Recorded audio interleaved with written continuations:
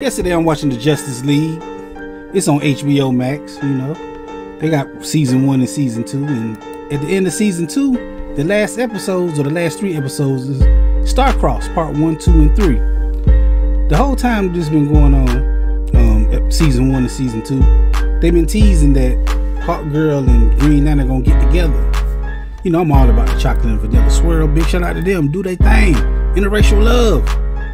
He go, he take her mask off, and the first thing I said was like, "Oh, she cute, she a baddie." She had red hair, green eyes, you know, that was straight. And they finally kissed. They finally got together, and that happened for one episode. Because the very, very next episode, just like a few minutes later, what's my man name? It was the the Thanagarian Talak, something like that. He showed up. She ain't seen none of her people in forever. But from, right after she kissed the black man, what happened? He showed up, and what did he do? He kissed Hawk Girl.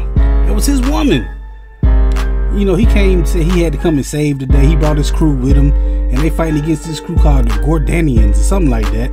First thing I noticed, I'm like, yo, y'all fighting, um, you know, people like y'all, but they got wings. They got black wings. If anybody know anything about cartoons, they try to differentiate the good and evil with black and white, but you know, so I ain't gonna really go there. But I started looking at them closer. This ain't a good picture right here. But I looked at them a little close. I seen this. They got big noses. Hmm. Hmm. You know, you see, that's what I'm saying. I'm, you, you started to see where I'm going at here? They got big noses like black people. With black wings. And they try to enslave people. That's what they did. Not the um the ones with the black wings, the white wings. They came and did that. And on top of that, they had a laser. And that laser looked like a swastika. Look at this. I don't know, man. It's kind of crazy to me. When I seen this, I thought this was kind of wild, man. They wind up trying to kick Hawk Girl out of there because she betrayed some people or something or something or something. I don't know.